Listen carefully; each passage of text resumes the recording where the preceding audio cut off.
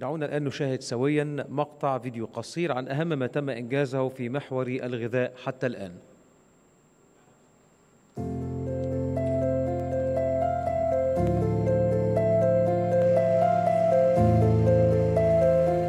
Uh, Egypt's country platform for the uh, nexus of water, food, and energy, uh, pronounced in Arabic as Nuafi, uh, which means uh, fulfilling pledges, uh, is a platform which brings together uh, different stakeholders.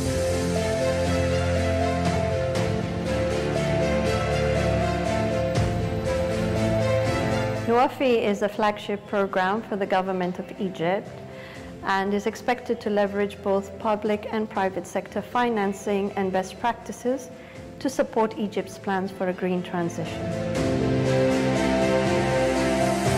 مشروع سي لما جه بدأ يبص على التنقيط والكلام ده بدأ يطور المنطقة وبدأت أدخل دخل كويس أحسن من الغمر المناوبة كانت بتيجي في وقت معين أما أنا دلوقتي أما ركبت الطاقة الشمسية بفتح المحبس عارف إن خد ساعتين زمن وأجي أغير المية بتاعتي في المكان التاني اللي أنا عاوزه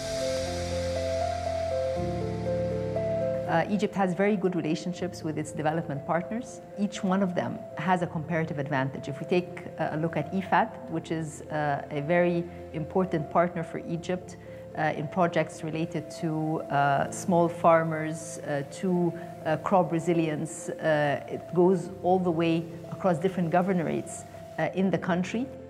As a result of the decades of successful partnership between IFAD and the government of Egypt, where we have jointly developed innovative solutions and technologies for agriculture, which now led us to this point where IFAD is leading the food pillar for Nuafi.